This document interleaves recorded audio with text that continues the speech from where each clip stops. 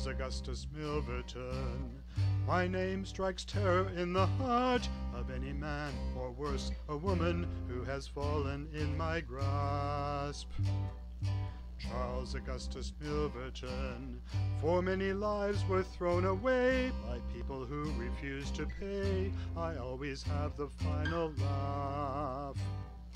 Charles Augustus Milverton, Charles Augustus Milverton. I'm Charles Augustus Milverton, and of my life I sing. I'm called the worst man in London, of blackmailers the king. From treacherous valets and maids I purchase documents.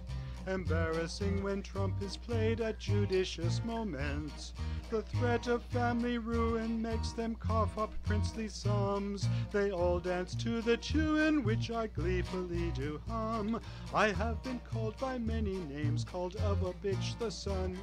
But that is all part of the game for Charles A. Milverton. I pay a call on Sherlock Holmes, who's acting as an agent for Lady Eva Blackwell's groans concerning her engagement. Her letters to a country sport, she filled his every want. Would show the Earl of Dovercourt she's not a debutante. My price is seven thousand quid, but Lady Eve won't meet it. I, and I refuse her lower bid, and withdrawn gut I beat it. Now Holmes and Watson, hugs and kisses, scandal there methought. It's such a bloody shame that Mrs. Hudson can't be bought. The night in question I do not retire at 10.30 For there are letters to be bought with secrets dark and dirty The veiled maid at last is there with letters compromising The foolish young Comtesse d'Ambert but comes a tryst surprising The maid reviews her veil revealing not a maid at all in fact, a former victim feeling bitter from her fall. Her hands emerges from her coat. I hear a dreadful sound.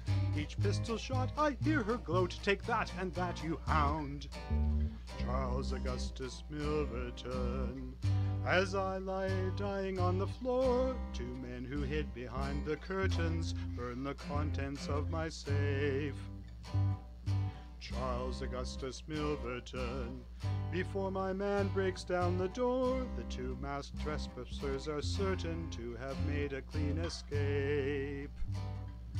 Charles Augustus Milverton, Charles Augustus Milverton.